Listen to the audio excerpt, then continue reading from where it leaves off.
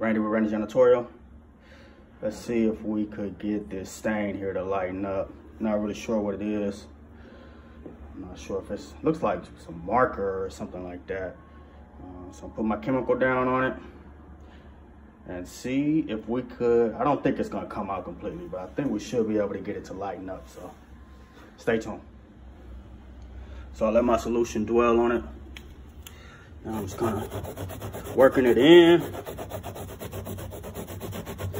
And it seems like it's, it's de it definitely lightened it up. I don't know if you guys can tell on the camera, but can definitely tell in person. Definitely um, got lighter. Um, so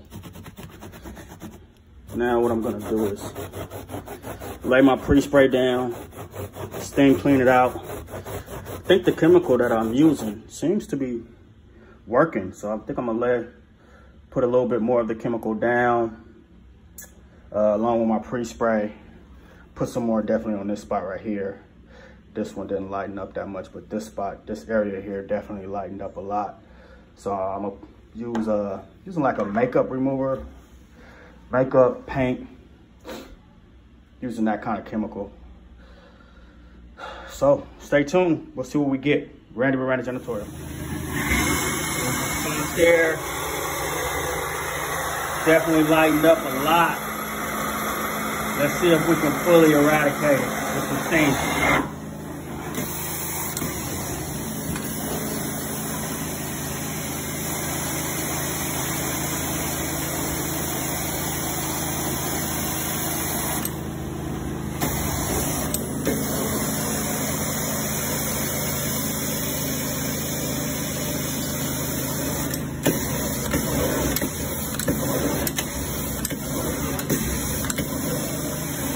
some stain. Randy with Randy Janitorial.